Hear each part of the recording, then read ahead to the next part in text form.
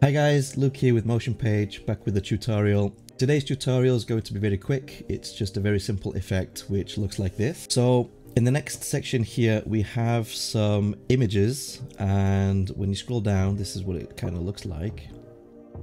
This is locked to the scroll bar as you can see. When we go up it reverses the animation. Um, but these elements, they have um, these names attached. This is not using Motion Page, by the way, uh, but I will show you how to do that. Um, but yeah, just a very simple effect. Looks nice. It's very subtle. Now, if you can imagine, you know, we have the same animations applied to the logos and we have animations applied to the text as well. This page could look very nice. So I'm going to show you how I did this using Oxygen Builder. Okay, so I've already set up my page in Oxygen and I'll just show you what it looks like. Uh, stagger image, edit with Oxygen. Okay, so it's a very basic page. First, I've just got some uh, FAQs and as I go down, this is going to be our focus element here. What this is, is just a wrapper with a lot of images inside of it. And these elements are actual images. Uh, we have a logo section and uh, just a basic CTA and a footer. So what I'm going to do is on this parent element, I'm just going to apply a class that we can use to target in motion page. And we're going to use this class um, in the selector and then we'll target every image inside of it. So let's just do um, something like this. So MP stagger image, just a class that's easy for me to remember. So I've applied that to the parent as you can see. And that's basically it. So I'm just going to save this now and I'm going to open up motion page over here. I'm going to create a new timeline. And for this, I'm just going to call it um, image stagger. Let's target the page that we made here. Okay, so all we need to do now, very simple, is we'll just change this to um, scroll trigger. Uh, look to scroll bar. I'll turn this down to around 0.2 seconds. I'm going to leave these as default for now and I'm just going to use a selector here and the selector I'm going to use is mp stagger image which was the class that we just created. And then I want to target every image element that's inside of that. So we'll just do this and we'll do image like this. Press enter. So this is going to target every single image. You can see it's highlighting the first instance of the selector. But if I just play around with some properties here so uh, from opacity 0 and then also what we'll do is we'll scale it up as it loads in. So from we want it to start smaller so we'll do 0.8 something like that. And also what I'm going to do on the on the two here I want to do stagger. And I want to stagger the total amount of one second. Now because I'm editing this on the 2, what I'll also need to do is put these properties back to their defaults. So we want it to come to 1 opacity and then the scale also needs to go back to 1 as well.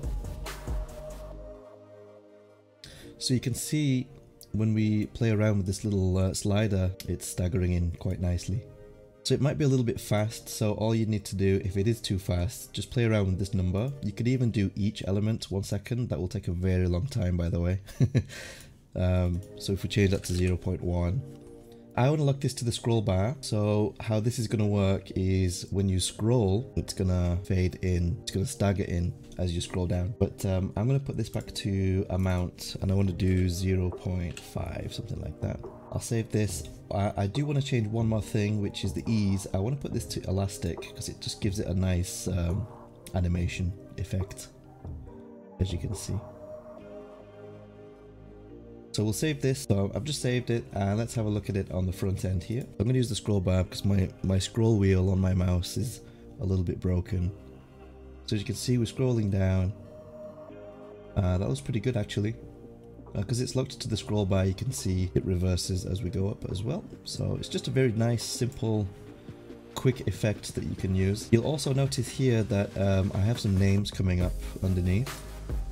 This is just using a third party and uh, I will link that in the description for you but in Oxygen Builder all I've done is used TippyJS, this is a, a JavaScript library and in here I've just added uh, some scripts and some JavaScript here and the way this works is if I click on one of the images, in Oxygen at least, on the attributes, you just use these properties, data tippy content, and this is the name that you want to display. And then you can also use placement so it comes up at the bottom of the element when you hover over it. It does come with some um, some nice things. You can change the the colors of it and stuff like that. So as you can see, it's coming up underneath the uh, element there. Um, but yeah, that's it. Uh, I just thought I'd show you a very nice, simple effect today. Nothing too long, nothing too special. But I think in the next video tutorial, we can we can move to something a little bit more advanced because I think the tutorials at the moment have been pretty simple. From next week, I think we will transition to something more uh, complex and maybe even design a full page. So if that sounds good, then make sure you check in next week. So there you have it guys, please don't forget to give this video a thumbs up, a like, and please do consider subscribing. And like I said before, next week I think we will be making a little bit more complex animations. So if that sounds good, then be sure to come back next Monday, and I'll see you next time. Thank you very much.